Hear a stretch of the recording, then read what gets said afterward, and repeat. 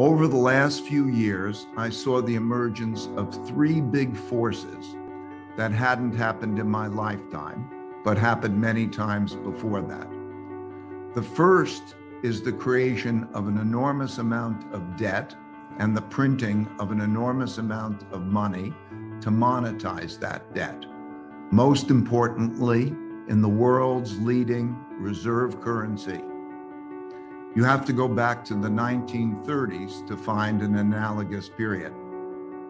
The second is the large amount of internal social and political conflict that is coming from the world's uh, greatest wealth gaps since the 1930s, most importantly in the United States. And the third is the rise of a great power, in other words, China, to challenge the existing world's leading power. And the last time that happened was also in the 1930s.